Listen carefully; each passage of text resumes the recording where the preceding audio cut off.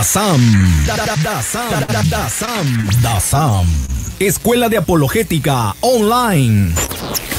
Lo que tanto estabas esperando, ahora ya lo puedes lograr. Obtén un certificado oficial en apologética o defensa de la fe de parte de obispos de diferentes regiones. Hoy necesitamos católicos y católicas bien formadas en saber defender su fe y que estén certificadas de parte de los obispos. Eso es DASAM. Eso es DASAM. Fórmate por internet en DASAM y toma nuestro curso desde el nivel básico hasta el superior. Aprende a dar respuestas bíblicas e históricas a los ataques de los protestantes sobre la Virgen, el Papa, las imágenes, los sacramentos, la Inquisición, los escándalos en la iglesia y mucho más. Capacítate en serio y certifícate en apologética y aprende el cómo dialogar con ellos y cómo memorizar citas bíblicas. El certificarte en apologética será un respaldo fuerte en tu apostolado. Avanza en la defensa de la fe. No te detengas. En DASAM podrás estudiar a cualquier hora en cualquier lugar y a tu propio ritmo, en tu celular, tableta o computadora. Tú lo decides. Inscríbete hoy mismo y entra a defiendetufe.com. Sí, defiendetufe.com para ver nuestros cursos e inscribirte hoy mismo. Hoy mismo. DASAM, Escuela de Apologética Online. Online. DASAM. DASAM. DASAM. Escuela de Apologética Online. Hola, le habla el obispo Eduardo Nevares de la diócesis de Phoenix en Arizona, invitándoles que vayan a encontrar un programa maravilloso de apologética que se llama DASAM. Ahí se va a poder conocer muchas respuestas a todas sus preguntas según la fe católica y apostólica. Entonces, inscríbanse y van a tener certificados y van a tener exámenes y van a saber todo lo necesario para ser apologéticos para la fe de Cristo Jesús. Ahí les esperamos. DASAM. DASAM. DASAM. DASAM. Escuela de Apologética Online.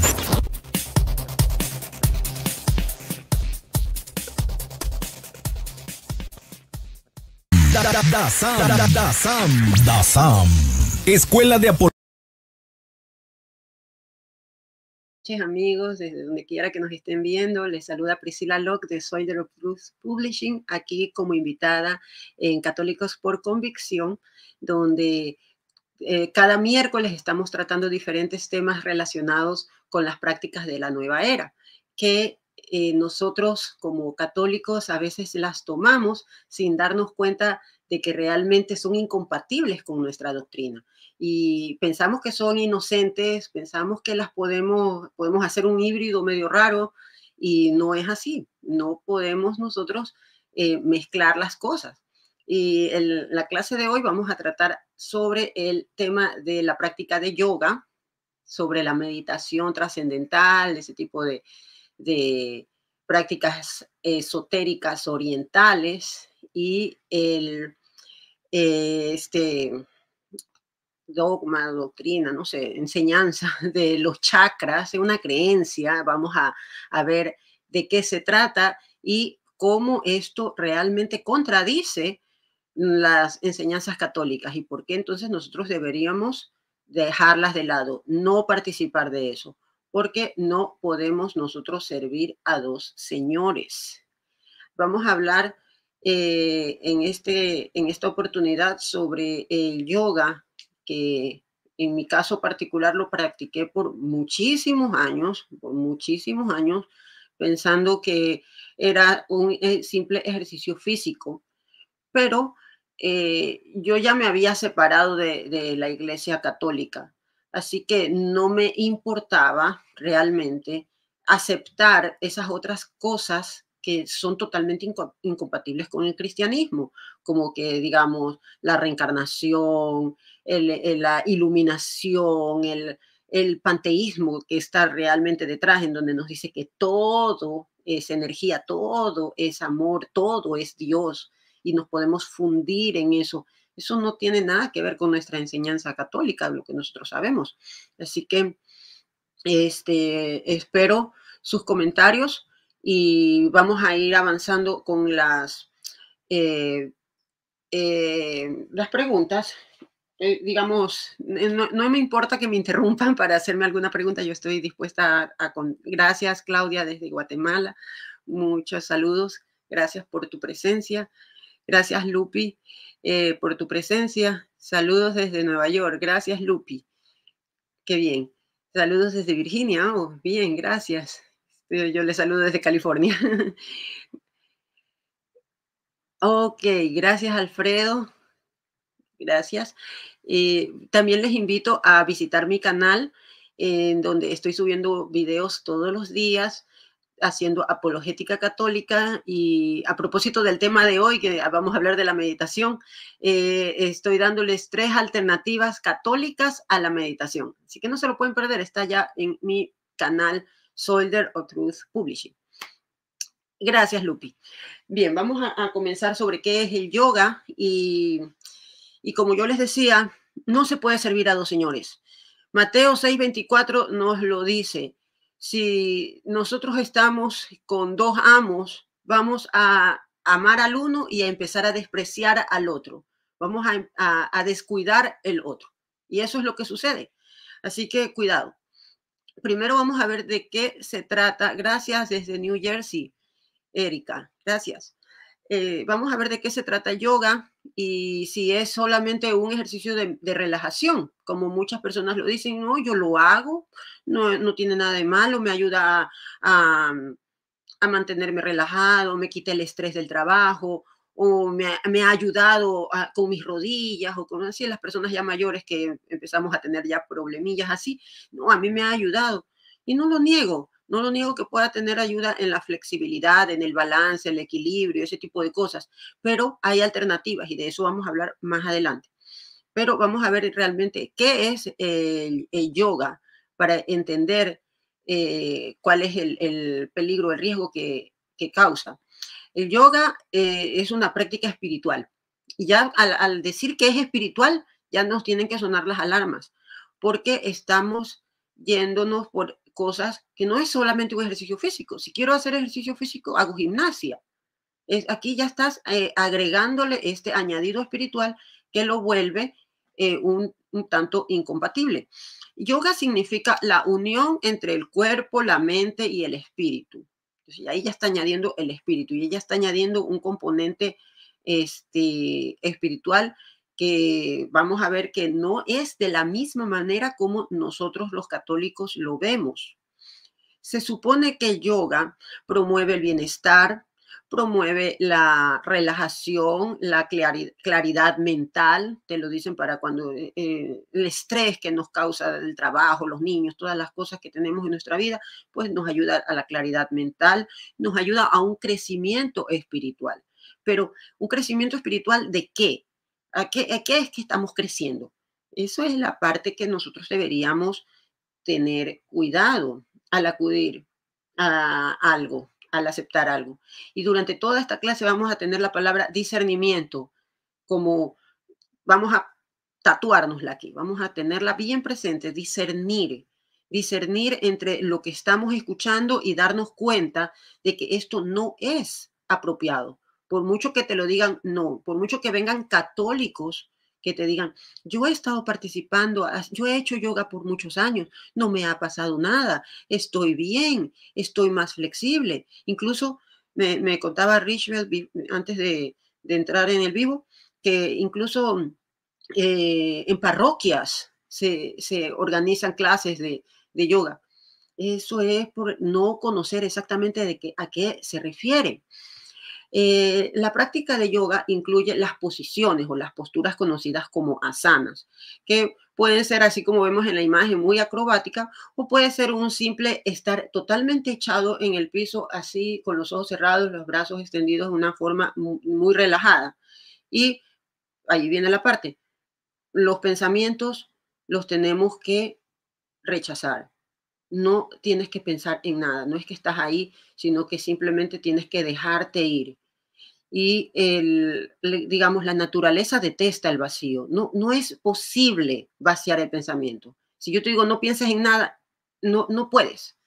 Entonces, eh, te quedas en un estado vulnerable en el que cualquier cosa puede ingresar.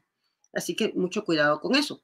El pranayama eh, se le conoce a las técnicas de respiración que acompañan las posturas, pues algunas posturas más complicadas como esa o este, la postura de la vela en donde te pones así de, cabeza y todo eso, eh, tienes que mantener tu respiración de manera en que vas a controlar la postura. Y allí viene la parte como que el pranayama te ayuda a controlar los pensamientos, porque si tú enfocas tu atención con los pensamientos, ya eliminas, con la respiración, ya eliminas los pensamientos de cierta manera, ¿no? Entonces entras a un estado meditativo. Y este estado meditativo es el que yo te digo que puede ser un tanto como que problemático, por decirlo menos, ¿no? Porque estamos vaciando la mente y la naturaleza detesta el vacío. No puedes realmente tener una mente vacía. Algo va a entrar allí.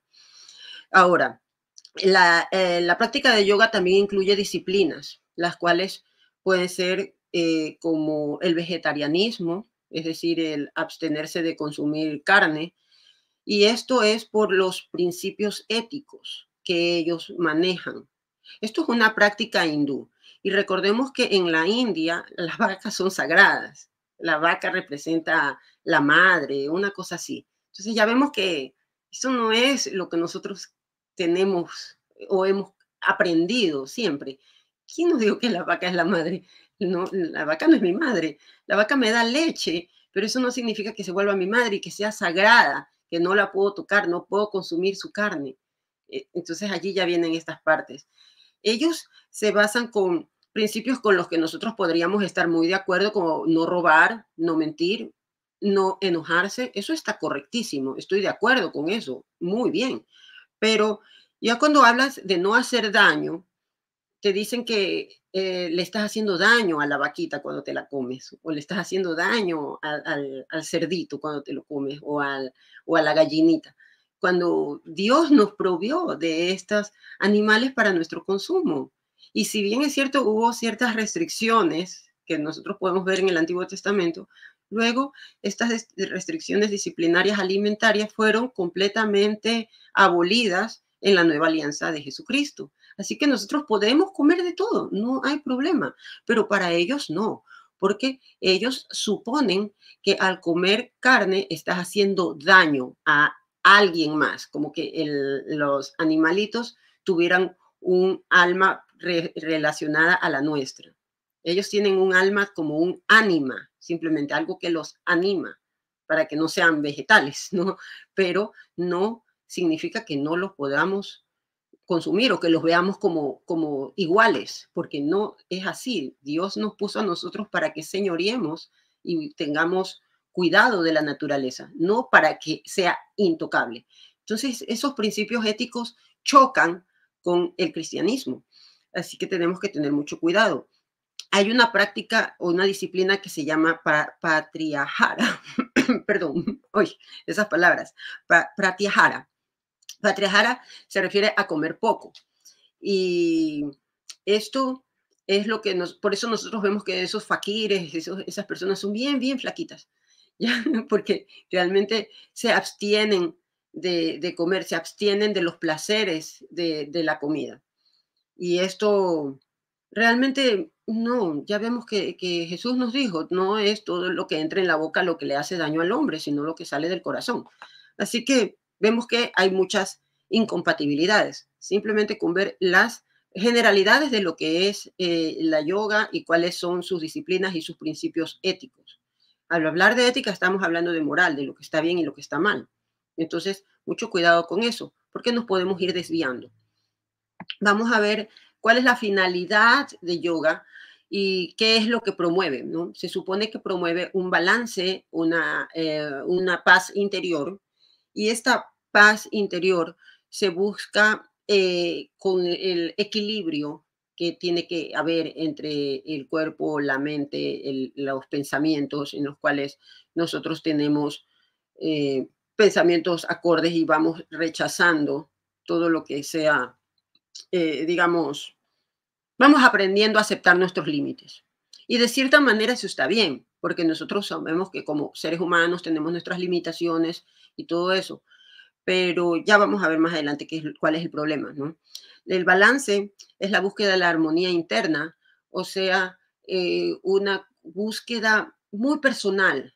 Y estamos hablando de algo en donde realmente, aparentemente, nos estamos desligando de la deidad de nuestro Señor Dios. Eh, sí, muy bueno. Gracias, Cristian, por tu aporte. El libro Tinieblas Tibetanas es muy recomendado. Allí nos habla de todas las cosas que hay. Bueno, más adelante vamos a ver un poquito, pero gracias por el aporte. Gracias, Magnificat, por tu presencia. Eh, y esto, este, esta armonía interior es una armonía muy solitaria, porque yo en el yoga, cuando estoy haciendo yoga, estoy yo y el universo. O sea, no se habla de, de, de Dios, o se habla de una divinidad así muy, ¿cómo se puede decir? Impersonal. No se habla del Dios Padre, se habla de la divinidad en general o del universo. Es muy genérico, muy, muy, muy, sí, impersonal, algo que realmente no es con quien tú vas a tener una relación, porque como vamos a ver más adelante, es algo en lo cual tú buscas tu balance interno, desligándote de la relación que tienes que tener realmente con Dios. Entonces, por eso es que nos va desviando. Eh, en la práctica de la, mm, del mindfulness, lo que se busca es que no hayan distracciones en nuestra, en nuestra cabeza. Y cuando llegan pensamientos, nosotros los desechemos y, no los juzguemos. Esto, esto también sería, hemos hablado, lo repito, voy a parecer repetitiva, pero es bien importante hablar de el, em, las distracciones. Y nosotros tenemos que tener discernimiento. ¿Se alimenta del prana supuestamente? Sí, por eso no, no come mucho. Y, bueno, eh, del prana, el prana nuevamente estamos hablando de una palabra que significa nada, realmente estamos como diciendo, el prana es la energía. ¿Y, qué, qué es la energía? ¿Qué es la energía para un New Age, para una persona de la nueva era? ¿Qué es la energía? Es muchas cosas. Eh, bueno, la autorrealización es otra de las finalidades del yoga. Es en donde se busca un estado elevado de conciencia. Se supone que con estas técnicas de respiración incluso puedes llegar a tener estados así como de high, como que hayas tomado psicodélicos, porque te llega a tener un estado superior, como un despertar de conciencia. Hmm, ¿De qué estamos hablando? Y eh, uno de ellos, como se conoce, bueno, más adelantito les digo esto. Ya, el despertar del kundalini. El despertar del kundalini es eh, esta especie, según su creencia, existe, gracias Griselda, existe en nuestra espina dorsal, en, la base de nuestra espina dorsal, una especie de energía que está enrollada como una, una serpiente. Ese es su estado supuestamente natural y que con la práctica frecuente de yoga, meditación y todo eso, se logra despertar avanzando hacia arriba, hacia toda esta, esta parte energética que supuestamente tenemos, y hasta alcanzar nuestra corona y se da la gran iluminación. Eso es una de las finalidades, el, el despertar del kundalini. Como vemos, es algo que no está en la Biblia, que no está en nuestras enseñanzas, que no tiene nada que ver. Eh, la otra cosa que dicen según ellos, eh, que se conoce también como una de las metas de, la yoga, es el alcanzar el nirvana, que es algo tomado un poco del budismo, en donde nos habla de la liberación del sufrimiento, tomando el sufrimiento como algo totalmente indeseable. Y si nosotros lo vemos desde unos lentes cristianos, el, el sufrimiento no es algo indeseable, es algo que nosotros podemos tomar, como Jesús nos dijo, toma tu cruz y sígueme. Eso significa, toma tus sufrimientos y úsalos para mi gloria. Es decir, no te quejes, no, no busques liberarte de ellos, no busques escapismo. Hay, muchas formas de liberarse del, del, del sufrimiento que son totalmente equivocadas y completamente anticristianas. Ahora, la otra finalidad que tiene el yoga es el samadhi, que es la completa absorción. Y esto sí que no tiene nada que ver con nosotros como cristianos. Esto eh, nos habla de una disolución de nuestro yo en el, en el todo. Entonces, ¿qué pasa con nuestra conciencia? Se diluye. No existe una comunión con Dios. No existe una, una relación. No existe una trascendencia del alma. El alma para ellos se diluye. ¿Cómo nosotros podemos pretender hacer una práctica que nos está enseñando todo lo contrario de lo que nos enseña el cristianismo, que es verdad? Nosotros sabemos que Jesús murió en la cruz, que resucitó y que nos prometió a nosotros también esa vida eterna, que en el día prostero vamos nosotros también a resucitar en el cuerpo. Vamos a volver a tener un cuerpo físico, pero ya no limitado a la materia como estamos aquí actualmente. Vamos a tener un cuerpo glorioso. Pero en cambio esto del samadhi nos habla de una completa absorción con el todo. Esto es muy triste. ¿Qué pasa con mis recuerdos? ¿Qué pasa con mi vida pasada? Con mis parientes que, que, que ya durmieron y que están en la gloria de Dios. No, eso no existe. Entonces, si vemos que no tiene sentido alguno para nosotros como católicos practicar yoga, porque nos aleja completamente de lo que es nuestra esperanza. ¿Cómo podemos hacer algo que contradice totalmente eso? No podemos, no debemos hacerlo. Ahora vamos a ver que las asanas o las posturas se asocian a ciertas deidades hindúes. Y aquí es donde viene la parte mucho más peligrosa, porque si alguien simplemente hace, la, hace yoga y no sabe todo esto de, que, cuál es la finalidad, ¿no? De alcanzar, de alcanzar el nirvana, de alcanzar el samadhi, no saben eso. Y dicen, no, yo solamente hago los ejercicios porque es bueno hacer ejercicios, porque me mueve mi cuerpo, porque me llega la sangre a la cabeza, eh, etcétera, etcétera. Pero estas eh, asanas realmente, si estudiamos más, que deberíamos, como para tener una eh, cultura general y, poder discernir con bases, poder tomar decisiones informadas, las posturas se relacionan a deidades. Y aquí en el ejemplo les he traído solo tres, porque hay muchísimas. Solo les he traído tres. La Ada Mukha Savasana, que es la postura del perro mirando hacia abajo. Es más o menos lo que está allí en, esta imagen, pero en, en, el perro mirando boca abajo tiene las dos los dos pies en el suelo. Esta es una postura que se relaciona con una deidad que se conoce como Anjaneya, hijo del viento. Estamos hablando de una deidad pagana. Cuidado. La otra postura que se conoce como la postura del guerrero, que también la habrán visto, que es como, bueno, no sé, no la quiero hacer porque, ya les voy a decir porque, ya, eh, la postura del guerrero, Virabhadrata, Virabrada, nunca fui buena para aprenderme esos nombres en, en, esos idiomas raros. Bueno, esto nos habla de la encarnación del dios Shiva. Encarnación, la encarnación, la reencarnación. Ellos no creen, eh, nosotros creemos en la encarnación del verbo, ¿no? Que él existió desde siempre, decidió tomar un cuerpo y se encarnó. Ellos creen en la reencarnación, que es una eh, un ciclo, un loop infinito de mm, este, muero y vuelvo a vivir, vuelvo a, tener, eh, vuelvo a morir, vuelvo a vivir y, se va generando karma. Todas estas palabras no pertenecen a nuestro léxico católico. No podemos decir, uy, no, es que tengo un karma malo, que esas son cosas que no pertenecen a nuestro léxico. Y bien, como vemos aquí, es la reencarnación, ahí falta una R, la reencarnación del dios Shiva, que si conocemos un poquito de mitología hindú, es el demonio directo. ya, mm, es el dios de la destrucción.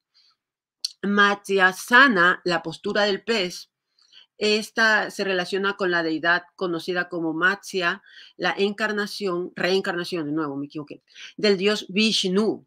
Nuevamente, estamos hablando de dioses paganos. ¿Y cuál es el peligro de que nosotros hagamos sin saber? No, es que, mira, se está, se está fortaleciendo sus hombros, se está fortaleciendo su equilibrio. Ya, sí, es verdad, sí. Pero ¿a qué costo? Nosotros cuando hacemos la señal de la cruz, Vamos a hacer la señal de la cruz en este momento. Esto sí algo que vamos a hacer en el nombre del Padre y del Hijo, del Espíritu Santo. Amén. Es un movimiento, una secuencia de movimientos que invocan a la Trinidad.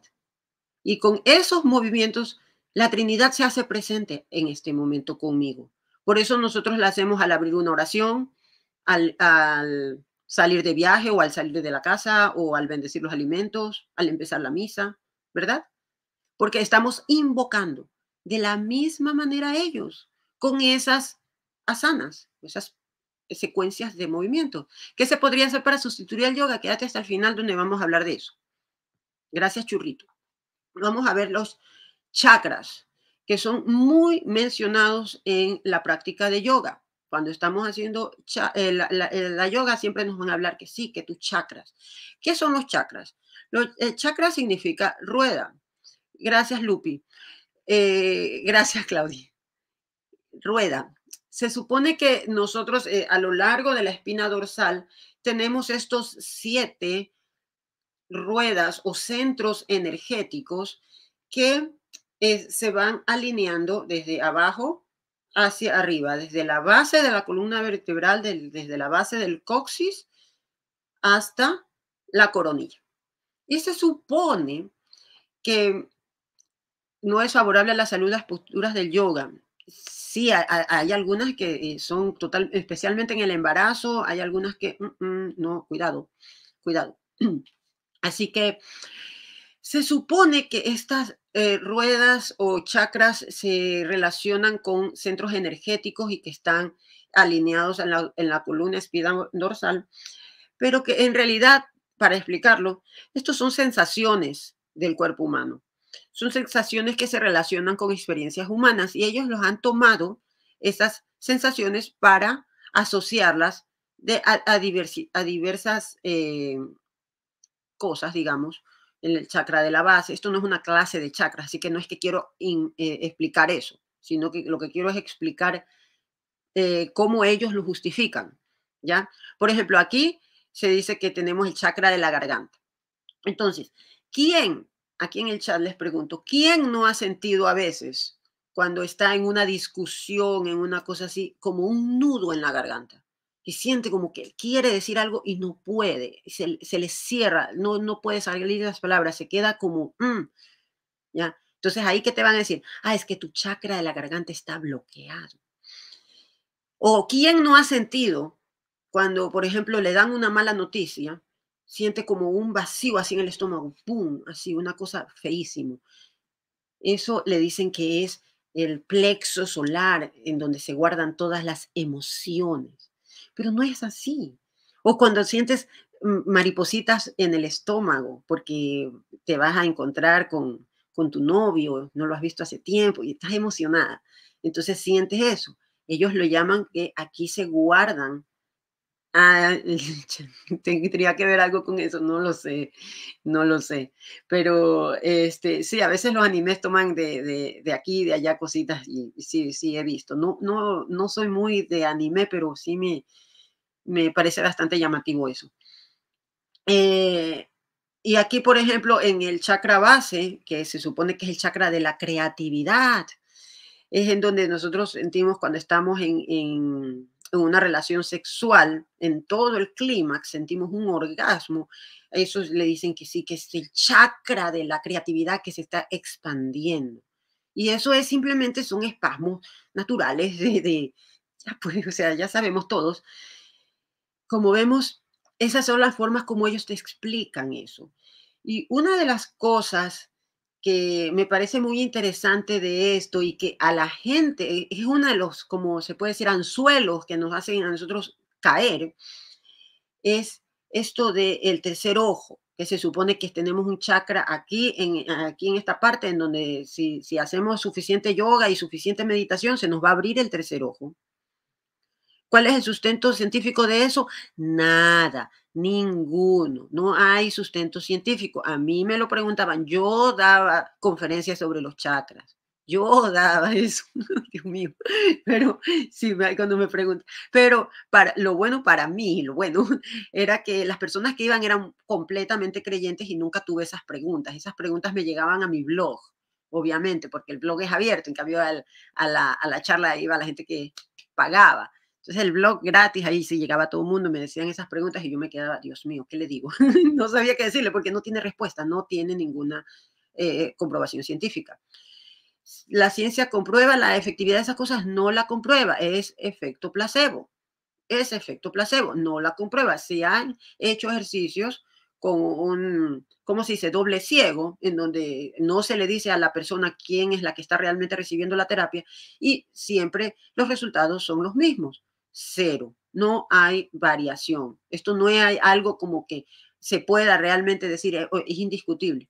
No, y además, los ejercicios o los, em, las pruebas científicas que se han hecho nunca han sido suficientes, es decir, con pruebas suficientemente grandes, muestras que sean significativas como para demostrar absolutamente nada. Así que no, la ciencia no ha demostrado nada y ya les quiero hablar de eso pero hablando sobre el tercer ojo, ellos lo quieren relacionar con la glándula pineal, que es una glándula que la tenemos, como quien dice, en esta dirección, pero aquí adentro del, cráneo, en medio del cerebro, y esa es la que regula los ciclos de sueño y, vigilia. Y tiene que ver con la producción de melatonina, melanina, no me acuerdo la palabra exacta, si alguien me las dice bien en, los, en los comentarios, porque la melatonina, porque melanina creo que es lo que tiene que ver con nuestra piel. Así que, bueno, no soy científica, se nota, pero eh, lo importante es que esto tiene que ver con la producción de eh, esta glándula que es la que nos hace quedarnos dormidos cuando la luz se disminuye. Pero ellos vienen con la parte esotérica y te hablan de que el despertar del tercer ojo se da cuando hacemos suficiente yoga, hacemos suficiente meditación. ¿Y cuáles son los resultados? Vamos a tener melatonina, es una hormona. Sí, sí, es una hormona. Este, ¿Qué es lo que vamos a tener al despertar el tercer ojo? Ay, que vamos a tener clarividencia, vamos a tener telepatía, vamos a poder hacer, este, eh, vamos a tener el conocimiento oculto. ¿Y qué es conocimiento oculto? Es el gran engaño es el gran engaño, porque siempre queremos saltarnos las cosas, porque no podemos saberlo todo y queremos por eso hacer estas prácticas para poder obtener esos conocimientos que no están allí. Se supone que con el que la glándula pineal, y así es como ellos te lo, cuando uno está metido en esto de, nueva era, se da alguien que haya estado me, dará la razón. Cuando uno está metido allí, te dan muchas excusas para decir, pero oye, no se te ha despertado la, la glándula pineal, yo todavía no puedo ver clarividencia, no veo telepatía, en mis sueños no veo realmente señales, o sea, ¿qué pasa? Es porque usas pasta de dientes con flúor, y eso te calcifica la glándula pineal. O sea, te salen con unas cosas así, nada que ver. Y es, es, que no tiene sentido. No tiene sentido. No se ha demostrado que existan estas propiedades de clarividencia, telepatía, este tipo de cosas.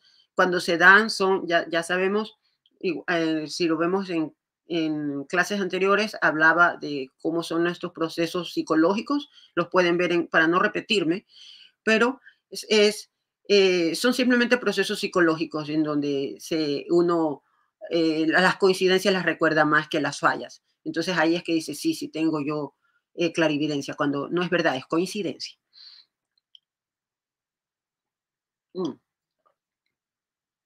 Ahora, hablando sobre otra cosa que también tiene que ver con esto, de que los chakras se expanden o se contraen de acuerdo a, que si tenemos algún miedo o depresión o susto, o alguna mala noticia, o si estamos enfadados, o si comemos carne, ahí te meten todo para que coincida con su creencia.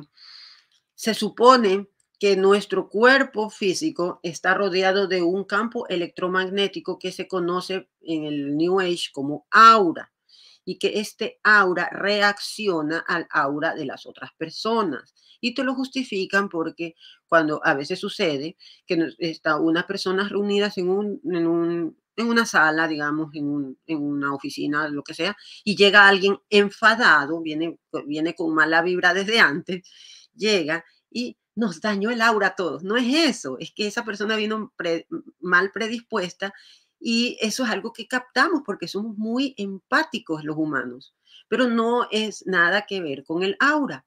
El aura se lo ha pretendido demostrar científicamente por medio de la fotografía Kirlian, que es una fotografía que se tomó, eh, esto fue creo hecho eh, a principios del siglo pasado, cuando recién estaban haciendo la fotografía, eh, era el auge de la fotografía y estaban haciendo experimentos, alguien hizo un experimento con tomar una foto de una hoja arrancada de una planta donde la había dejado en una, digamos, en una placa, le toma la foto a la hoja, saca la hoja, viene, toma nuevamente la foto y todavía se veía el aura. Bueno, no es aura. Eso es simplemente que esa foto lo que estaba era captando las descargas eléctricas que había tenido la hoja en el momento en que eh, la dejaron allí. Esto es a un nivel muy, digamos, estamos hablando ya de física, de, eh, eh, electricidad y este tipo de cosas, que no tiene nada que ver con, el aura. Así que estamos hablando de cosas que realmente no tienen sentido. Ahora, todas estas creencias justifican las tales sanaciones energéticas, en las cuales se supone que manipulan tu aura de cierta manera o manipulan tus chakras o los armonizan, es una palabra muy New Age, armonización de chakras, que ya sea con un péndulo, ya sea con aceites esenciales, ya sea con, con rezos, y ahí está peligroso, porque ¿a qué estamos invocando? ¿A qué estamos invocando? A demonios, directamente a demonios. Ahora vamos a hablar sobre la verdad solo la encontramos en Cristo y su iglesia, es cierto. Perdón, vamos a hablar sobre esta eh, secuencia de movimientos que es muy conocida en el yoga y que se conoce como Surya Namaskar o saludo al sol. ¿De qué se trata? Se trata de una secuencia que empieza allí en la parte de arriba, como que en el número 12 del reloj, y hace diferentes movimientos con dirección al este, a donde está el sol naciente. Y se supone que esto nos ayuda a conectarnos a la energía del sol. Y como beneficio nos habla de la flexibilidad, claridad de mente y gratitud. Gratitud hacia quién, no lo sé. Es como agradecerle al microondas porque me calienta la comida.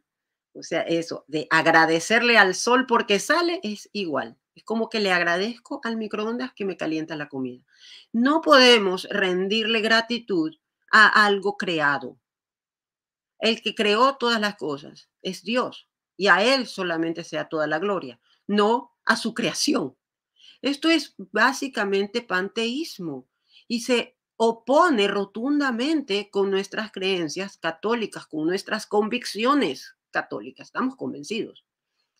sí, sí, esa, esa, es de mi autoría. Eh, tenemos que, que ver que el sol se considera para, el, para todas estas creencias paganas la fuente de vida. Y no estamos yéndonos muy, muy, o sea, esto de adorar el sol no es como irse pasos atrás, como en la época en que los, eh, digamos, los primeros humanos veían en los truenos y decían, uy, ese es, el, ese es el dios del trueno, el dios del mar, cuando veían las olas. O sea, a las fuerzas de la naturaleza les asociaban a deidades.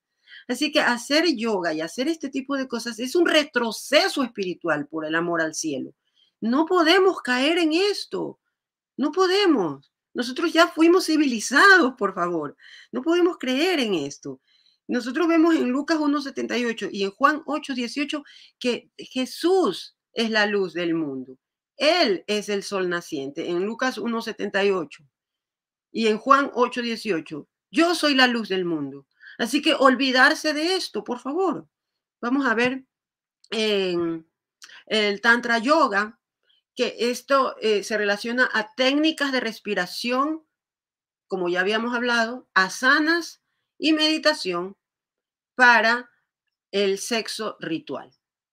Es decir, eh, que se utilizan ciertas técnicas, se utilizan ciertas posturas y se hacen meditaciones para poder, en todo, lo, o sea, la finalidad es evitar la eyaculación, porque para estas creencias de estas personas, ellos piensan que la vida del hombre se halla en el semen y que eh, el hacer, o sea, al alcanzar la eyaculación es algo que hay que evitar.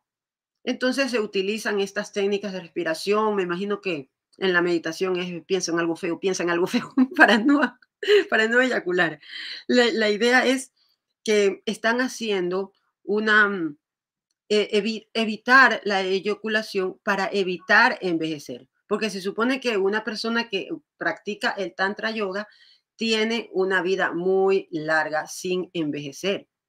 No sé si alguien ha visto uno de estos yogis que se, lo, se mantenga joven hasta los 80 años, yo no, pero bueno, eso es lo que ellos creen. Pero ellos con esto buscan, no te van a decir eso, sino que ellos buscan el autoconocimiento, la iluminación nuevamente y el poder personal. Como nuevamente caemos en esto, estas son prácticas muy egoístas, porque todo es personal, es yo, es mi iluminación, mi alcance. ¿Y para qué? Para al final eh, diluirse en el todo. No tiene nada que ver con nuestras creencias católicas, no tiene nada que ver con el cristianismo y es algo que tenemos que rechazar. Vamos a ver sobre el mindfulness que es muy, muy popular últimamente porque en estas épocas en que nosotros estamos estresados y todo, se supone que con esto nosotros nos ayudamos a, mejorar nuestro carácter y todo eso. Y para ser sincera, el mindfulness es algo que sí puede ayudar. No estamos hablando de cosas, eh, digamos, espirituales en, el mindfulness. El mindfulness básicamente es estar presente en una actividad de manera plena, sin pensar ni en el pasado ni en el futuro. Entonces te ayuda realmente a relajarte. ¿Y de qué manera se puede hacer? Se puede hacer en una caminata, se puede hacer mientras lavas los platos, se puede hacer mientras estás, digamos, con tus hijos. No le veo nada de malo. Por eso hablamos siempre de discernimiento. Tenemos que discernir lo que está mal y lo que está bien. La idea es centrarse en las emociones presentes, en las sensaciones corporales, que estás en ese momento sintiendo. Pero en donde viene la parte un poco problemática del mindfulness y en donde debemos tener cuidado cuando, si es que vas a una conferencia de mindfulness y todo y te dicen que te tienes que centrar en el yo, e, esto, esto te elimina esa relación con el otro, porque te dice que no debes de juzgar, pero no, no es así, no es, no es que nosotros no debemos juzgar, nosotros debemos, estamos llamados a juzgar. Suelen tomarse, a veces yo veo que eh, de la Biblia sacan un verso suelto en donde dice, no juzgar, no, no juzguéis o no seráis juzgados. ¿Sí? Eso es simplemente tomarlo así, sacarlo de su contexto y decir, no juzgue. Entonces, amor es amor, todo está bien. No, nosotros tenemos que juzgar. Nosotros, eh, cuando te dice esto, el mindfulness, que no juzgues tus pensamientos, cuando te llega a ti algún pensamiento, tú lo tienes que rechazar para volver al tiempo presente. Y como decíamos, la naturaleza detesta el vacío. No podemos vaciar nuestra mente. Es imposible. ¿Lo podemos utilizar el mindfulness? Sí, pero sin, sin olvidarnos de que no está mal juzgar, que cuando tenemos algo que, lo juzgamos como malo, seguramente porque es malo. Entonces, si lo queremos rechazar, rechacémoslo. No pensemos que, no, es que yo soy muy mindfulness y yo no voy a rechazar esto, es algo, es mi experiencia y lo voy a aceptar. Mm, allí es donde viene el discernimiento que, del que nos habla Jesús. Vamos a hablar sobre los mantras, que también eh, son muy utilizados en yoga, especialmente en las meditaciones, en donde se utilizan palabras, sílabas o signos para eh, nuevamente, para vaciar la mente y para invocar entidades. Ellos se basan en que las vibraciones tienen una, un gran poder. Y este símbolo que les he puesto aquí, que es el símbolo del OM, es el que se supone que es el sonido primordial. No sé cómo lo saben, pero dicen que fue el sonido que en el Big Bang eh, fue um, y pum, y salió todo. Eh, no sé cómo lo saben, pero es lo que ellos dicen que es un sonido primordial, es el sonido universal, es como nos habla el universo.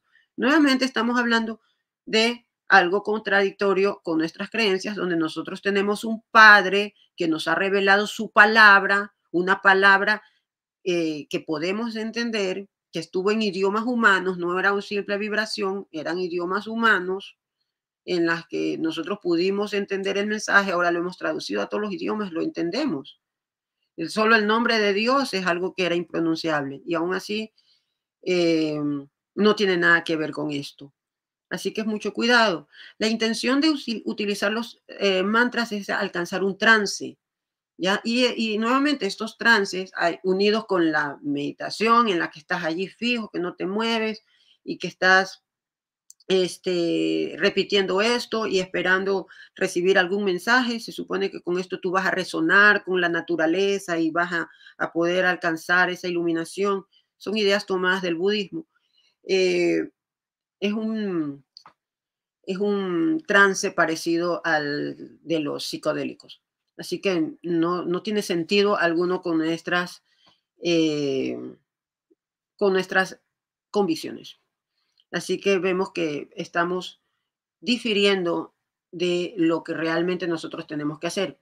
Ah, y quería añadirle lo del mindfulness, que tal vez para las personas que llegaron después, en mi blog, en mi canal y en mi blog, he puesto un video sobre tres tipos de meditaciones realmente cristianas, en donde nosotros no vaciamos nuestra mente, sino que la dirigimos a Dios.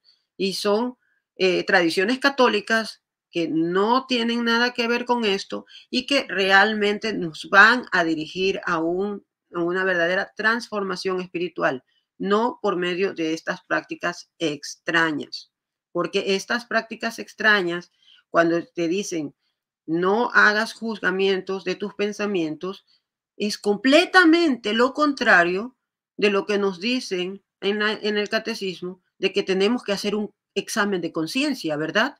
Un examen de conciencia es realmente revisar eh, dentro de mí qué es lo que está mal y analizarlo. Es, un escaneo completo de todo lo que nosotros hemos hecho para poder irnos a reconciliar. En cambio, en el mindfulness, no, no juzgues nada, no juzgues nada. Así que ese es el discernimiento que tenemos que hacer. Podemos hacer mindfulness, por ejemplo, me doy contra e-, en el dedo pequeñito del pie con un mueble. ¡Auch! Oh. Ahí puedo usar mindfulness. Simplemente no juzgo, no dejo pasar el dolor y realmente allí funciona. Pero si estamos hablando ya de, hacerlo como una práctica diaria o, de algo generalizado que reemplace la verdadera meditación cristiana, eh, estamos hablando de algo contradictorio y que debemos evitar. Porque nosotros al centrarnos en el yo, realmente nos estamos desviando de nuestro Señor. Vamos a hablar ahora de los mudras, que son gestos hechos con las manos, que los hemos visto cuando las personas se ponen en, posición de loto y hacen gestos. Estas también se asocian a deidades o a energías o a intenciones. El conocido namaste es muy parecido a nuestra posición de orar, pero el namaste, nosotros no podemos saludar con namaste, por favor, no lo podemos hacer. Porque ¿qué significa namaste? Significa mi Dios interior saluda a tu Dios interior. No tengo Dios interior, yo soy una persona pecadora. Todos somos pecadores. Tú eres pecador, yo soy pecador, todos somos pecadores. El único sin pecado fue Jesús. Nosotros somos pecadores. Nosotros no somos dioses, no tenemos dioses internos que despertar ni nada de eso. Es completamente contrario a nuestra, eh, a nuestro evangelio, a nuestra tradición. No podemos saludar con namaste. Y, eh, nosotros podemos hacer nuestra postura de oración, que es igual al, al namaste. Así que sí, eh, todos los días se aprende algo nuevo. Cuidado con el namaste. La flor de loto, que es una figura que se hace con los dedos, es una figura que se hace generalmente cuando estamos en posición de flor de loto, que es sentarse así con las piernas así, que no es que tiene nada de malo, a mí me gusta sentarme así, si te, te sientes así, está bien, pero es la intención. No podemos poner esa intención o podemos, me voy a poner a meditar en esa postura. ¿Por qué? Porque al hacer esa, esa, ese mudra con nuestras manos, estamos realmente invocando a la diosa Saraswati, que es la diosa del conocimiento, porque se supone que cuando estás en esa posición estás buscando conocimiento.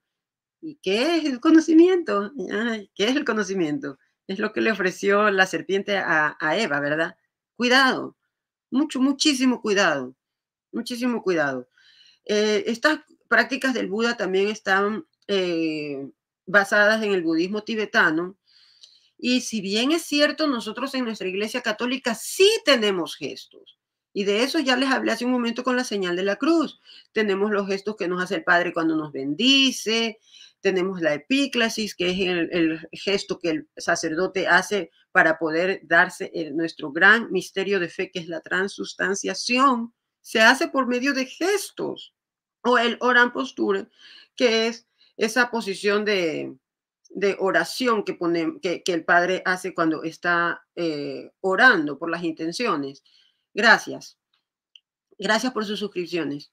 Sí, es muy gnóstico. Todo esto se alimenta de el gnosticismo, porque es algo que el conocimiento interno, el Dios interior, estamos hablando de cosas que realmente se eh, alejan de nuestra verdadera creencia. Otra de las cosas que se escucha mucho en estas clases de yoga es la conciencia crística. Vamos a levantar nuestra conciencia crística. Vamos a expandir y un despertar de conciencia. Esto no es más que sincretismo puro y duro. Sincretismo, es el calor psicológico. Sí, e, exacto, exacto. No podemos no juzgar. Exacto. Eh, tenemos que tener mucho cuidado con esto de la conciencia crística, porque ¿qué es lo que nos está dando a entender entre líneas? De que Cristo tuvo como un despertar, de que incluso hasta dicen, tienen la audacia de decir que él se iba a meditar y que se fue a la India a meditar, porque que no es que se murió ni resucitó, sino que él se fue. Él huyó a la India, se fue a meditar y se convirtió en, en un yogi. Ay, Dios mío, no tiene sentido. ¿Qué es lo que nos quieren decir? Ejercicios espirituales de San Ignacio. Gracias, Magnificat, por tu aporte. ¿Qué es lo que nos quieren decir con esto? ¿El tai chi tiene algo de malo? No lo he investigado. Sinceramente, Patti, así que no me gusta inventarme las respuestas. Así que no, no lo sé. No lo sé.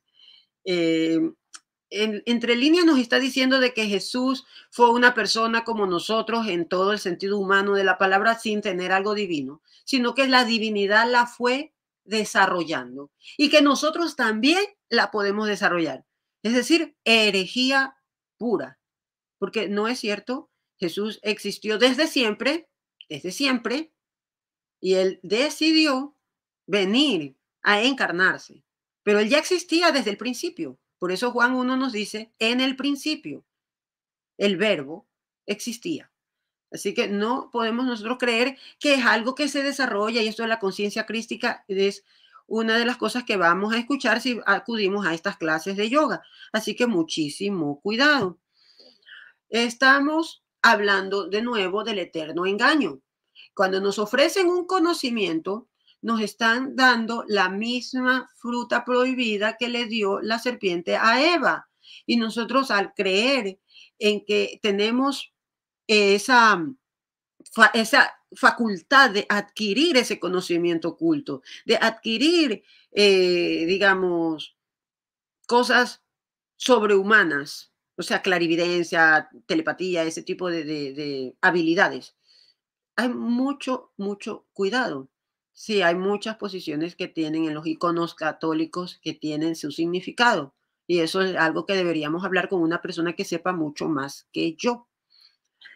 Ahora, eh, tenemos que tener mucho cuidado cuando nos ofrecen un conocimiento oculto, cuando nos ofrecen poder saber algo más allá de nuestras posibilidades físicas humanas, que es lo que nos estaba ofreciendo el yoga. Y tal vez las personas que me dicen, no tiene nada de malo, pero si yo lo he hecho por años, es porque están tal vez yendo superficialmente.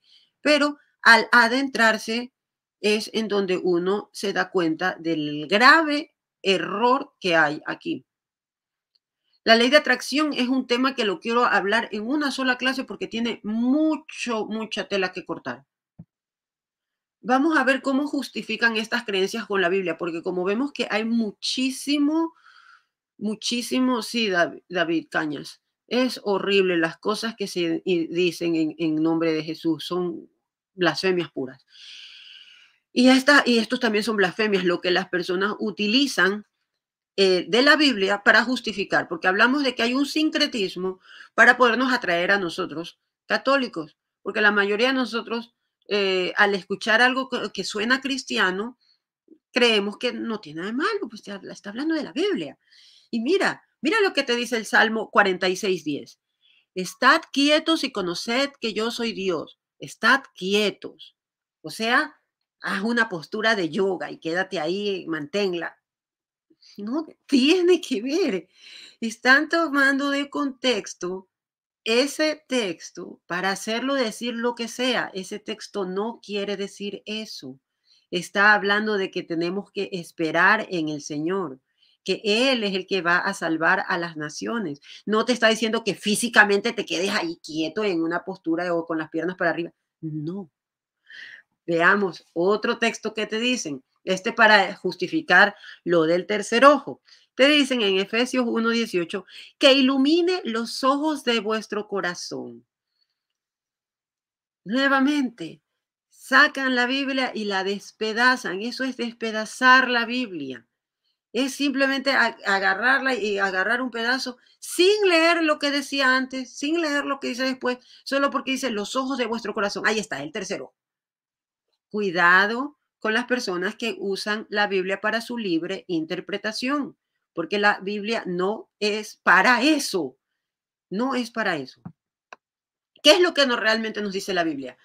La Biblia ya nos advertía, Mateo 24, 24, pues aparecerán falsos mesías y falsos profetas que realizarán grandes señales y prodigios para engañar, de ser posible, incluso a los elegidos. Es decir, que puede que tú vayas a una clase, hagan en ese momento una, especie de sanación, alguien se sana, dice, oh, mi rodilla ahora ya no me duele. Esos son prodigios que se hacen en nombre de los demonios. No es, esto no viene de Jesús. Si no viene de Jesús, si no viene de Dios, solamente hay otra alternativa.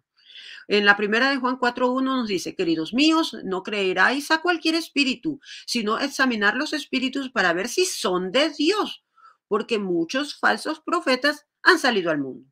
Nada, tengo nada que añadir a eso. En la segunda de Corintios 11:4 nos dice, pues si bien alguien viene predicando a otro Jesús distinto al que le hemos predicado nosotros, o si recibís un espíritu distinto al que ustedes habéis recibido, o un evangelio distinto del que habéis aceptado, lo soportaréis muy bien. Ahí está, cuando se hacen otros Jesuses, porque así yo les digo Jesuses, porque son simplemente es la imagen que hacen, pero la distorsionan y lo vuelven hippie, lo vuelven yogi, lo vuelven meditador, lo vuelven sanador eh, kármico y cosas que no tienen que ver con nuestra, eh, con nuestro evangelio. Así que nuevamente la palabra del día, discernimiento. Veamos la advertencia a los corintios. Primero en contexto, los corintios era un pueblo que quedaba en Grecia, en donde se practicaban por allí muy cerca dos grandes actividades muy importantes aquí. Las, los Juegos Olímpicos, es decir, ejercicios del cuerpo, y la prostitución sagrada, es decir, el sexo tántrico, como le quieran llamar, la prostitución. Por eso los Corintios nos habla muchísimo de la moralidad, de la moralidad sexual. Y en Primera de Corintios 6, 19 al 20 nos dice, ¿o ignoráis que vuestro cuerpo es templo del Espíritu Santo que habita en vosotros, el cual tenéis de Dios y que no sois vuestros? Es decir, nuestro cuerpo no es nuestro, es templo del Espíritu Santo. No podemos utilizarlo para invocar algo a otro espíritu que no sea el Espíritu Santo. Cuidado, porque habéis sido comprados por un precio. Glorificad pues a Dios en vuestro cuerpo. Sí, es mucho, mucho cuidado. Sí se va a subir el video, eh, Federico. Gracias por venir. Ah, así que bueno, como resumen, ¿por qué el yoga no es una práctica inocente? Porque en primer lugar, el Dios que ellos tienen es un Dios que no es trascendente, es un Dios impersonal, es un Dios con el cual nosotros no nos podemos comunicar, no, no tenemos una relación, es un Dios que se supone que está en todas partes, un Dios panteísta con minúscula, que no tiene sentido con la revelación de Dios que nosotros conocemos, que es el Padre, no es energía, es, es, no es algo impersonal, es un Padre con el cual nosotros podemos hablar, no es algo impersonal va contra la, la, relación con Dios, obviamente, porque si no cree que es un padre, que es una persona, eh, entonces no podemos tener una relación. ¿Cómo yo me relaciono con la naturaleza? Haciéndole el saludo al sol. Totalmente idolatría. Busca vaciar la mente. Al vaciar la mente, como sabemos, no podemos, realmente eso es mentira, no es que vamos a vaciar nuestra mente, al vaciar nuestra mente, ya sea por medio de mantras, por medio de posiciones, de respiración, lo que estamos es eh, poniéndonos en un estado muy vulnerable, y aquí viene el siguiente punto, que nos abre las puertas a influencias malignas y nos desvía realmente de la fe y la confianza que tenemos en el Dios verdadero, el único al que le debemos rendir culto. Así que bueno, con esto yo hasta aquí llego yo porque aquí vengo a traerles el testimonio del padre José María Berlinde. Este es la cereza en el pastel de esta clase. Esto es lo más importante porque esta persona estuvo codo a codo con el Maharishi eh, Yogi, que fue el gurú de los Beatles. O sea, estamos hablando de una persona que estuvo con el gurú más grande que ha conocido Occidente. Con él tuvo eh, una vida de, o sea, vivió en el ashram, vivió por muchos años, estuvo allí participando, le dieron el mundo tres veces vuelta al mundo difundiendo estas prácticas y a pesar de él haber sido criado católico. ¿Y cómo fue que él llegó a caer en esto? Por, eh, como todos cuando estamos jóvenes, eh, no sé, bueno, no todos, yo, en el caso mío, esa tal búsqueda espiritual, él vio un anuncio de meditación trascendental y esa fue la puerta de entrada. La meditación trascendental es una meditación que utiliza esos mudras y mantras con, eh, son supuestamente personalizados, o sea, es un demonio que te ponen para ti. Y ya vamos a ver por qué le digo demonio, porque van a decir algunas personas que no quiere, eh, digamos, renunciarlo al yoga porque se siente bonito hacer el yoga, eh, tenga mucho, mucho cuidado con esto, porque él nos puede, el padre José María Berlinde nos da un testimonio muy verídico, en el cual él de primera mano pudo ver cómo estas tradiciones que buscan la autodisolución de la persona para tratar de lograr esa fusión divina, obviamente todo contrario al, cristianismo, el, amor en realidad se ve como algo de lo cual hay que desapegarse, porque el amor se ve como una carga. Estamos hablando de mezcla de budismo, hinduismo, y el amor qué es? El amor es una relación entre dos personas, es una decisión que tomamos a comprometernos con una persona, a cuidar a alguien, voy a ser amigo de esta persona, no le voy a fallar, me voy a casar con este hombre, no le voy a ser infiel, o voy a, eh, voy a amar a mi hijo, no, le voy, no voy a renunciar a mis responsabilidades de madre. Eso es amor, es una decisión.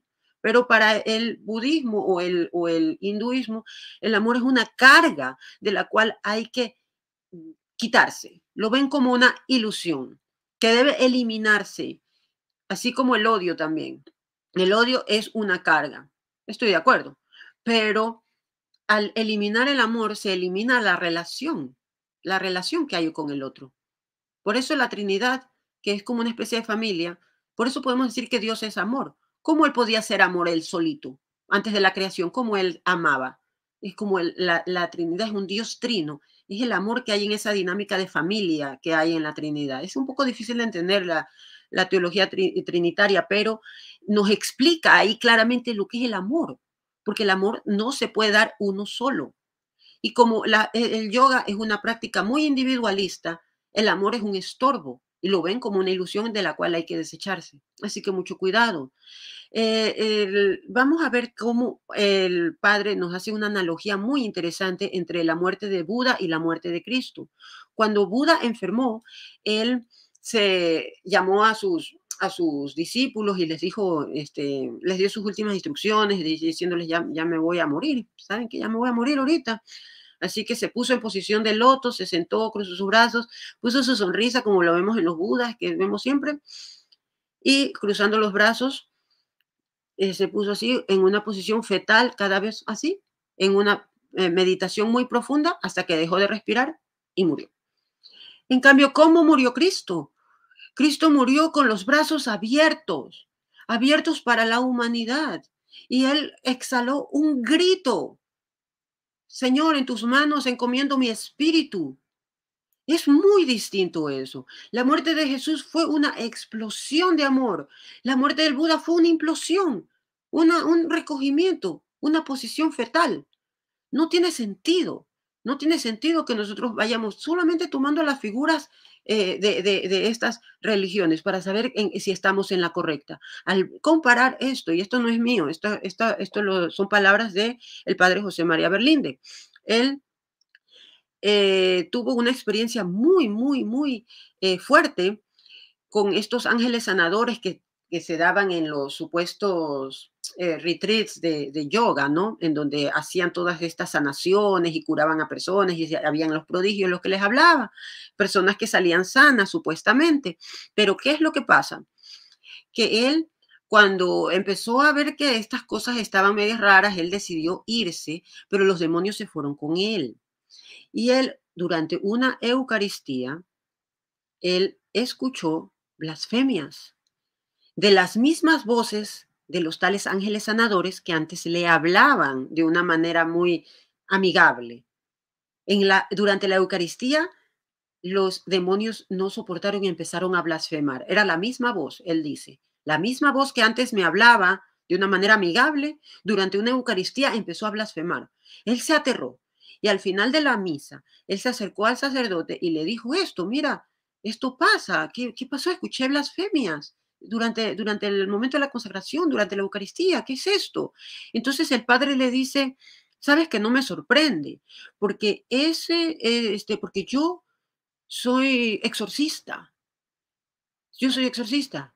Antes no te había sucedido, nunca antes te había sucedido, ¿verdad? Dice, no, nunca antes, había yo ido a otras misas y no me había pasado. Ah, es que cuando los demonios están frente a un exorcista, no pueden soportarlo cuando es, porque el exorcista tiene una especie de autoridad sobre los demonios.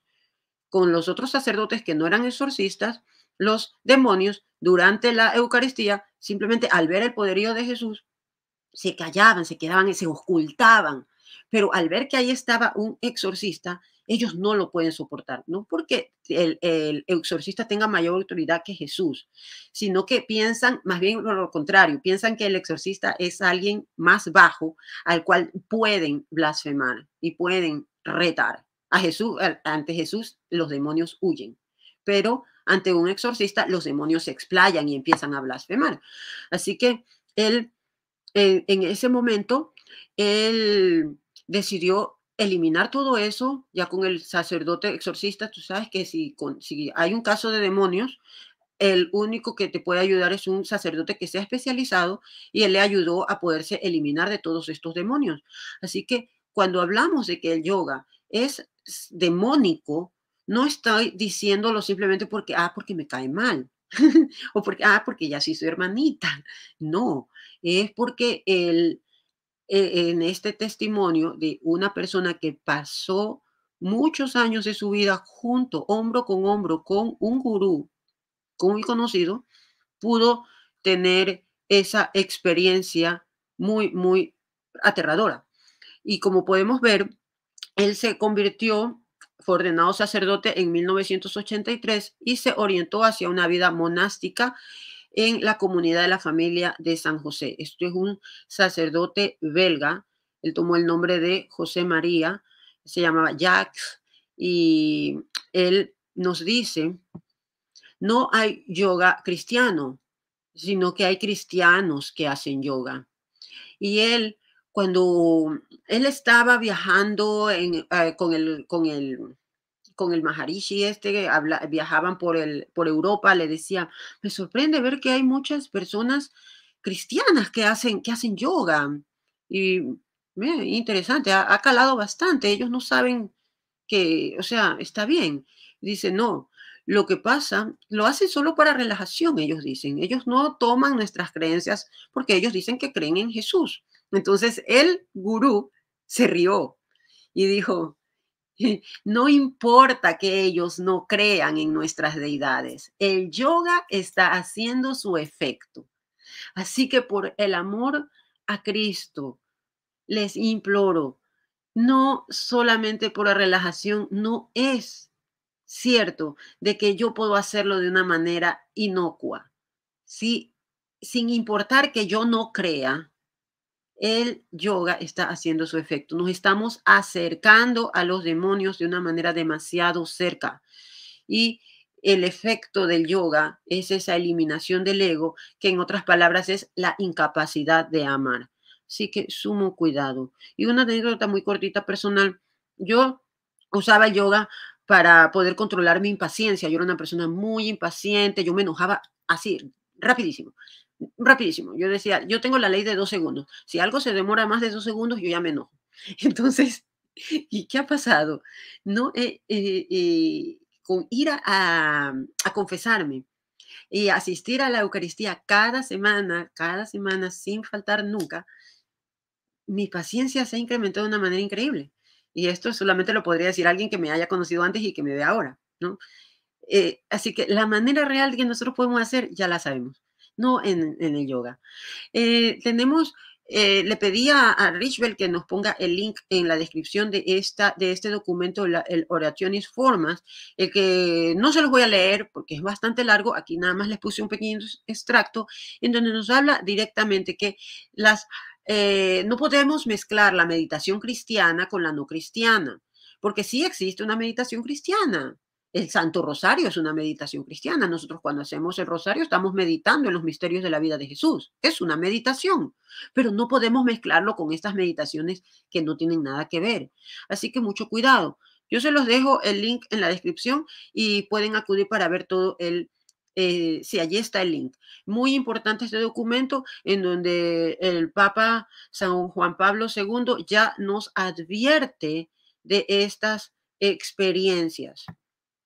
Ahora, yo les tengo unos pequeños consejos para nosotros católicos que podemos hacer porque nosotros vamos a descubrir que en el catecismo no se expresa directamente alguna prohibición directa al yoga o la meditación, pero sí nos, nos, eh, nos, ofrece ciertas directrices y advertencias sobre estas prácticas, así como las que vemos en el documento.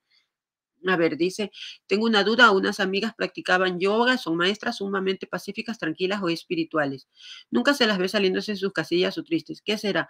Pues yo no sé, eh, yo no conozco sus corazones yo no puedo decir, no puedo juzgar a nadie. Yo juzgo a mí misma. Yo no puedo juzgar a otras personas, no lo sé. Yo no lo sé. Sí, y no lo ven mal. Es que no lo ven mal porque no conocen, pero yo por eso les dejo allí el nombre de, de el padre eh, para que busquen su testimonio. El padre José María Berlinde. Imperdible si tienen algún familiar o conocido que practique yoga, pásenle el testimonio del, del padre José María Berlinde, a ver si van a querer seguir. Em, luego tenemos que asegurarnos de que cualquier práctica física que nosotros hagamos esté en consonancia, que no altere, que no tenga eh, añadidos espirituales o cosas filosóficas que se vayan en contra de nuestra, eh, del, cristianismo en general, porque tenemos que ser muy críticos en las cosas que hacemos con nuestro cuerpo. Recordemos, nuestro cuerpo es el templo del Espíritu Santo. Se recomienda buscar eh, orientación espiritual de sacerdotes que sean muy informados y que nos puedan guiar en nuestra fe. Y que, y que la iglesia busca salvaguardar la integridad de la fe católica en estas cuestiones. Así que hay personas que están bien informadas a las cuales podemos, podemos acudir. Alternativas al yoga, me, preguntaban al principio, aquí está, gimnasia olímpica, danza aérea, que lo vemos allí en la foto, ballet, ejercicios de estiramiento en casa. Son cosas que no tienen añadidos espirituales y que también nos ayudan a la flexibilidad, al equilibrio, al, bienestar en general del cuerpo. Y los hippies con dinero lo traen de moda ahorita. Sí, sí, hay, tenemos tanto que hablar de los hippies. Tengo tanto que hablar de eso. quisiera eh, aumentar en los temas que tenemos aquí para las clases, muchas otras cosas que creo que sí está, me parece, Richwell, entre los temas subsiguientes eh, sobre las drogas psicodélicas en donde no tiene sentido. Mm. Y son solteras y sin hijos. Mm, bueno, no, no digo nada. El Santo Rosario sí nos trae mucha paz. esa es la verdadera meditación. Vamos a ver que lo que sí yo les digo eh, a las alternativas al yoga que les estoy dando es que evitemos los estudios de yoga. ¿Y en, por qué? Si vamos a practicar danza aérea, por ejemplo, danza aérea mi hija practica. Allí en, el mismo estudio de danza aérea hay estudio de yoga. ¿Y qué, cuál es el problema? Que en el estudio de yoga hacen estas prácticas y ellos están haciendo las invocaciones. Entonces tú puedes estar allí y tú puedes decir, bueno, yo me voy, voy a, llamar al Espíritu Santo, pero mientras tanto tu cuerpo está haciendo otra cosa y está invocando a uno de estos dioses hindúes. Recordemos que las asanas se relacionan a una deidad. Estamos, estamos haciendo contradicciones, no podemos mezclar las cosas. Entonces, por eso yo les digo que eviten los estudios de yoga, eviten eh, donde hayan otras personas que ellos no son católicos, no creen, porque como les decía al principio, en Mateo 6:24, no se puede servir a dos señores, porque te vas a empezar a encariñar con el uno y vas a aborrecer al otro. ¿Y cuál es el que va a salir perdiendo? Va a salir perdiendo cristianismo porque estas cosas New Age nos tienen con estos colores rimbombantes, con estas cosas, con, esta, con estas este, promesas de conocimiento oculto. En otras palabras, ya, ya sabemos, ¿no? qué, ¿Cuáles son las promesas del conocimiento oculto? ¿Quién las hizo? Eh, ¿Qué hacer si hemos caído en el yoga? Y nuevamente les traigo un examen de conciencia, rapidito se los voy a decir.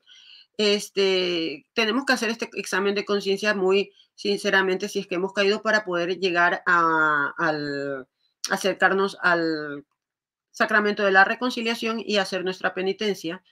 Y primero, he participado en prácticas de yoga, meditación y otras disciplinas orientales que promuevan creencias o técnicas incompatibles con la fe católica. Si lo he hecho, tengo que decir que sí. He adoptado acríticamente enseñanzas o filosofías que contradigan los principios o valores cristianos. Ya, cada quien sabrá. He buscado el conocimiento o la guía de expertos o líderes espirituales que promuevan prácticas contrarias a la fe católica. He dado prioridad a prácticas espirituales o filosofías que desplazan o minimizan la importancia de la fe, los sacramentos y la relación personal con Cristo. Cinco, he utilizado mantras, mudras u otras técnicas que tengan un significado religioso o espiritual ajeno a la enseñanza católica. Seis, He buscado experiencias de trascendencia o fusión con lo divino que se alejan de la comprensión cristiana de Dios. Siete, he participado en prácticas ocultas, espiritismo, armonizaciones de chakras o cualquier otra forma de colaboración con entidades o fuerzas cristianas, eh, fuerzas espirituales no cristianas. Cuidado. Ocho, he permitido que mi fe católica se vea influenciada o diluida, diluida por enseñanzas o prácticas contrarias a ella. Nueve, he buscado la orientación espiritual de un sacerdote o guía para que realmente me guíe. Si digo que no, entonces ese es el momento, ¿no? He estado consciente de la importancia de proteger y fortalecer mi fe católica evitando prácticas que la pongan en riesgo, porque nosotros, el, el, problema está en que no podemos hacer yoga y ser católicos al mismo tiempo. Vamos a descuidar una de las dos. Es un, es, un, cuidado que tenemos que tener. Entonces, luego viene la parte de la renuncia total, en donde tenemos que renunciar completamente, hacer un cambio, si, si ya estamos acostumbrados a hacer los ejercicios de yoga, hacer ejercicios que no sean esas posturas. Podemos hacer estiramientos que no son yoga, podemos hacerlos, sí existen, existen y, se llaman este, gimnasia, se, eh, son los ejercicios de la gimnasia olímpica. No tenemos que hacer todas esas piruetas, pero sí hay ciertos eh, ejercicios de estiramiento en los cuales nosotros no vamos a estar invocando a estas deidades o a estas entidades. La oración diaria como el rosario es espectacular para rechazar cualquier este, influencia demoníaca. Recordemos que nuestra Madre del Cielo es la mujer que pisa al dragón de, en Apocalipsis 12. Así que utilicemos el rosario como un arma contra estas entidades demoníacas. Y la Eucaristía constante. La Eucaristía debe de ser lo más constante posible. Este, ah, no practiquen el tai chi. Yo nunca practiqué el tai chi, sinceramente, por eso no lo sé. Así que, este, ponla como... Ya, ok. Gracias por esos comentarios. Les agradezco mucho porque realmente enriquecen el, vivo, enriquecen de las cosas que yo no sé, ustedes pueden aportar. Y la Eucaristía es lo que realmente nos ayuda a esa verdadera transformación por medio de la Santísima Trinidad, no por medio de estas cosas que te, te dicen que te va a ayudar, control mental o, o, paz interior. No conozco tampoco el Muay Thai, lo siento. Y aquí les dejo con esta frase de Pedro que nos dice, sed sobrios y vigilad. Vuestro adversario, el diablo, ronda como león rugiente, buscando a quien devorar, resistiéndoles firmes en la fe, sabiendo que los mismos sufrimientos se van cumpliendo en vuestros hermanos en el mundo. Primera de Pedro 5, 8 al 9. Sed sobrios, ser vigilantes, aprender a discernir. El demonio está rondando y se va a dar cosas muy eh, atractivas para que te desvíes, para que rompas tu relación con Dios. Esta es la, sí, esta es la última diapositiva. Por último, les invito a suscribirte si les ha gustado, denle like, suscríbanse al canal de Richwell, compartan este video eh, vean en la descripción de este video, seguramente Richwell les ha puesto la invitación al grupo de estudios que tenemos. Los sábados hacemos estudios sobre nuestra doctrina católica. Estamos aprendiendo muchísimo. Es un grupo muy bonito, muy interactivo, en donde eh, aprendemos realmente nuestra doctrina, porque el problema del se dice, ¿cómo se dice? Católico mal informado o católico ignorante futuro protestante. ya no quiero ofender, pero es verdad. Las personas cuando dicen, ay, cuando yo era católico, es porque en realidad nunca fueron católicos. Así que hay que tener formación. Formémonos, por favor, formémonos en nuestra fe. Aprendamos a conocer nuestra fe. Así nos enamoramos. Así yo me he enamorado de la fe y estoy haciendo apologética. Por tanto, les invito a que lean eh, mi página web y a que lean mi libro donde también hablo ah, sobre los peligros de la New Age y cómo esto es algo que nos aleja completamente de nuestra fe católica. Bueno, le doy paso a Richbell porque... sí, hermana, de verdad agradecido nuevamente porque otra enseñanza magistral. De verdad que sí, este tema de la nueva era sobre todo esta parte del yoga, hay que dejarlo muy claro. ¿No? para nuestros hermanos, porque como te comentaba, hay sacerdotes que lamentablemente lo están promoviendo porque dicen que no le ven nada malo, que es solamente ejercicio, que es solamente para relajación, pero pues pasan por alto todas estas advertencias, ¿no? que digamos que a muchos han afectado. Hay muchos que se han ido de la Iglesia Católica por seguir estas costumbres o estas eh, creencias orientales, ¿no? Porque podemos decir que son de, de Asia, ¿no? Como, como acabas de, de la India. De la India, exacto. Entonces, bueno, es muy buena la, enseñanza. Aprendí cosas nuevas que de verdad no conocía. Si había estudiado el tema del yoga, conozco el documento eh, que compartimos allí, que los hermanos deben, deben leerlo porque de verdad ayuda mucho a comprender lo que es la meditación cristiana y no confundirlo con otras meditaciones orientales, ¿verdad? Pero eh, siempre se aprende algo nuevo, realmente que sí. Yo sé que los hermanos también en, el chat pues han estado muy activos y han aprendido también, han complementado, ¿no? La hermana Claudia que siempre nos apoya allí. Gracias. Complementando. Gracias a todos por su tiempo. Les agradezco muchísimo porque esto nos, nos incentiva a, a seguir, a seguir trayéndoles más temas, a seguir profundizando porque el supermercado del New Age es muy vasto y es muy atractivo y su meta principal es alejarnos de la verdadera fe. Y si nosotros queremos, pretendemos mezclar las cosas, no vamos a obtener ningún resultado bueno. Así es. Y bueno, invito nuevamente a los hermanos a que se suscriban a tu canal si aún no lo han hecho. Si aún no están suscritos a este canal Católico por Convicción, también se suscriban. Si quieren formarse académicamente, pues se inscriban en la Escuela Apologética Online de ASAN. Y pues ya será hasta el próximo miércoles, ¿no? Que, ¿Cuál es la clase que toca, hermana? ¿Sí recuerda? Parece que, tienes un problemita con la conexión porque no, te entendí muy bien. Eh, sí, te decía que cuál es la clase que toca la semana que viene. Mm, sí, sí, parece que, no sé, que hay un problemita. A ver, ¿me escucha? Pero bueno, este, una pregunta, Richbel, ¿tú recuerdas cuál es el tema de la, de la clase que viene para, para invitar a, a las personas a la clase que viene? Eh, no, no lo tengo ahora aquí.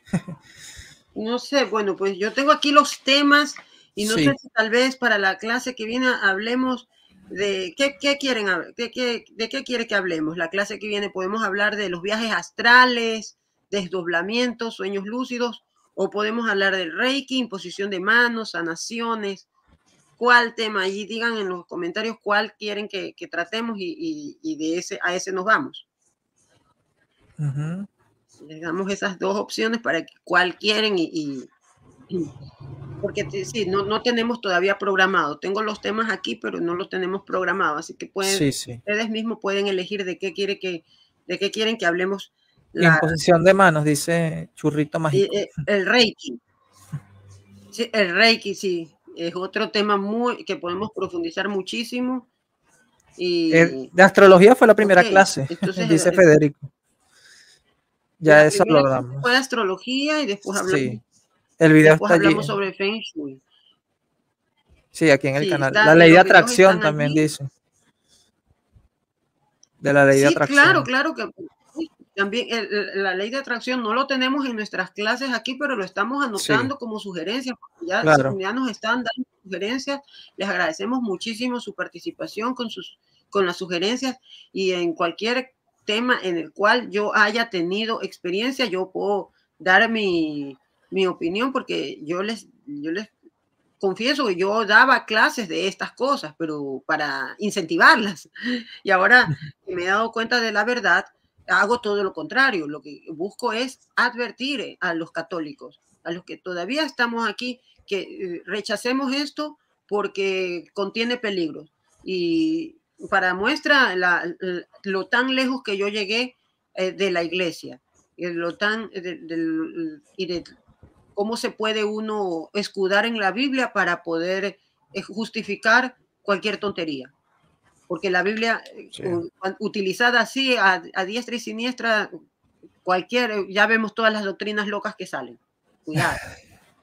Sí. Bueno, hermano, entonces será hasta el próximo miércoles, ¿sí? Hasta el próximo miércoles, entonces hablaremos del Reiki, ¿ok? El Reiki, ok, perfecto. Ok. Bueno, gracias. Bueno, gracias nuevamente. y a todos los hermanos que estuvieron allí en el chat. Que Dios los bendiga.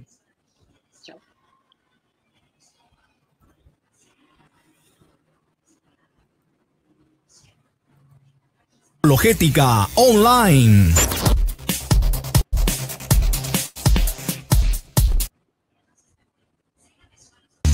Escuela de Apologética Online. Lo que tanto estabas esperando, ahora ya lo puedes lograr. Obtén un certificado oficial en apologética o defensa de la fe de parte de obispos de diferentes regiones. Hoy necesitamos católicos y católicas bien formadas en saber defender su fe y que estén certificadas de parte de los obispos. Eso es DASAM. Eso es DASAM. Fórmate por internet en DASAM y toma nuestro curso desde el nivel básico hasta el superior. Aprende a dar respuestas bíblicas e históricas a los ataques de los protestantes sobre la Virgen, el Papa, las imágenes, los sacramentos, la Inquisición, los escándalos en la iglesia y mucho más. Capaz Capacítate en serio y certifícate en apologética y aprende el cómo dialogar con ellos y cómo memorizar citas bíblicas. El certificarte en apologética será un respaldo fuerte en tu apostolado. Avanza en la defensa de la fe. No te detengas. En DASAM podrás estudiar a cualquier hora, en cualquier lugar y a tu propio ritmo. En tu celular, tableta o computadora. Tú lo decides. Inscríbete hoy mismo y entra a defiendetufe.com. Sí, defiendetufe.com para ver nuestros cursos e inscribirte hoy mismo. Hoy mismo. DASAM, Escuela de Apologética Online. Online. DASAM.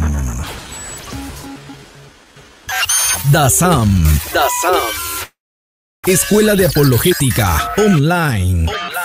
Hola, le habla el obispo Eduardo Nevares de la diócesis de Phoenix en Arizona, invitándoles que vayan a encontrar un programa maravilloso de apologética que se llama DASAM. Ahí se va a poder conocer muchas respuestas a todas sus preguntas según la fe católica y apostólica. Entonces, inscríbanse y van a tener certificados y van a tener exámenes y van a saber todo lo necesario para ser apologéticos para la fe de Cristo Jesús. Ahí les esperamos. DASAM. DASAM. DASAM. Escuela de Apologética Online.